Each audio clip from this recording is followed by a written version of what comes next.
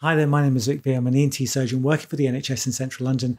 And today I want to tell you about a very short video actually about how to avoid removing the bones of hearing during a cholesteatoma surgery. So just in case you, you don't know about this stuff, a cholesteatoma is a collection of cells, uh, not a cancer, but it sort of acts a little bit like a cancer.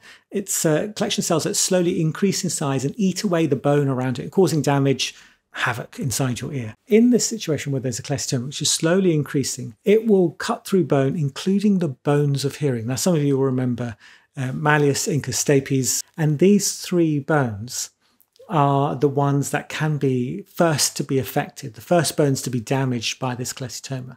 In some situations, particularly if it's quite small, these cholesteatomas can be caught early enough so that, yes, the cholesteatoma is going around these bones of hearing, and starting to eat them away.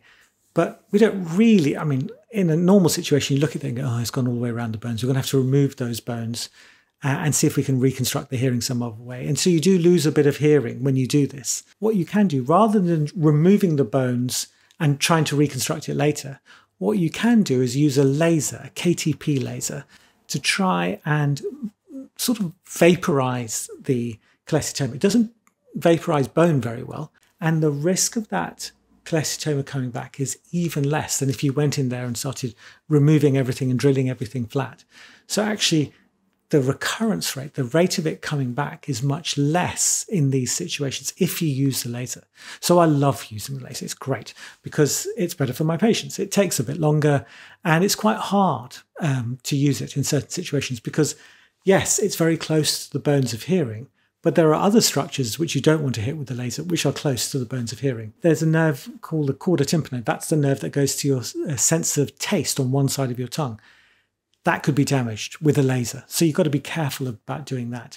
Often it's damaged anyway because the cholesteatoma has already eaten away through that. The other thing is that the nerve to your face, the, the facial nerve that comes around here and deals with the muscles of facial expression. So if you lost it, your face would drop down. Or if you lasered it by mistake, your face would drop down it's quite scary waving a, a, laser around in that area. So you've got to be very, very careful. And in some cases, you're trying to get round a corner because um, I've done, done a video recently on a canal wall up and a canal wall down operation. You need to keep the canal wall up because these bones of hearing are attached to that that wall that I talk about, the, the wall coming up or down. But sometimes to get a laser around that corner is very difficult.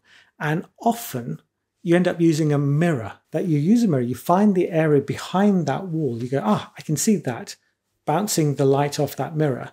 Okay, what I'm going to do is bounce a laser off there, back behind there, so you can get to that cholesteatoma around that corner. So there is this technique, summarizing now, there is this technique where you can use a laser. So rather than removing the bones of uh, hearing, you laser this cholesteatoma off it so you don't have to remove it. So later on, your hearing levels are as good as they can be because you've still got your original bones of uh, hearing sitting there, whilst also reducing the risk of the cholesteatoma coming back again. And um, I just wanted to let you know. And if you ask your surgeon about it, I'm sure they'll be able to do it for you if they've had the training, whatever. Do take care. Thank you very much for watching. Bye bye.